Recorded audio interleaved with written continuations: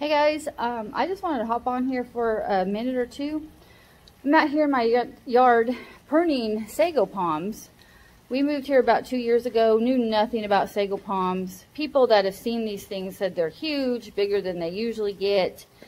Um, don't know, uh, didn't know anything about them, but they definitely do not look very healthy right now. Let me show. Um, so here's number one. He's a little bit more healthier than, than the other one I've already been working on. And so you see this one over here has a lot of uh, yellow dead um, leaves on it that need to uh, be pruned. But made me start thinking, as you can see, I've already trimmed a lot, a lot um, of leaves off, off this tree.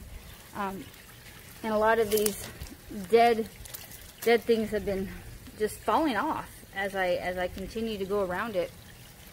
But if you look up into the tree underneath these healthy branches, um, there's just a lot of, like I said, I'm not sure what they are, but it's dead and it's old and um, just needs to it, it needs to be cleaned up. And it just started getting me to think, you know, that's what that's what we need to do. God um, desires to clean us up. He desires to um, develop in us the fruit of His Spirit love, joy, peace, long suffering, uh, goodness, gentleness, meekness, self control. So, when I was when I was uh, pruning these things, I was looking at the mess, and it just started me thinking about you know so many times we hide things. Um, we have a lot of hidden junk we have a lot of hidden debris in our uh, heart. And that's not God's desire. God's desire is to make us new, to get rid of the debris, to get rid of all that junk, the bitterness, the unforgiveness that we cling to, that we hang on to. And, um, you know, we think that we have the right to do that. We think that um, we're, we're doing good to somebody. But all that is a lie. All that is false. And you know, the enemy, Satan, wants us to continue to hide and and um, not get rid of the debris that's in our heart. But that's not God's desire for us. And uh, there, uh, scripture in Psalm 51 says that He desires truth in the inward parts and wisdom in the in the hidden parts. And then you think of John 15 where He talks about abide in me and and uh, those branches that don't, they, they get cut off and, and burned. But if we continue to abide, we get pruned. This sago tree is getting pruned today. And once it's pruned and all this stuff in here is, is cleaned up and um, it's going to be healthier. It's going to grow better. And when we allow God to work in our heart, uh, we we get cleaned up. We, we grow better. And this this was my thought today as I was um, out here pruning in the heat. And uh, just wanted to say these words, just wanted to give this encouragement that if we're struggling with something, um, just let God clean it up.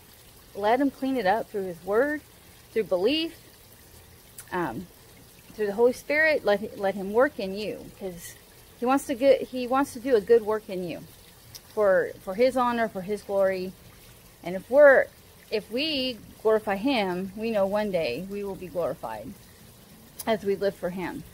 So, uh, God bless, and um, just continue to seek Him.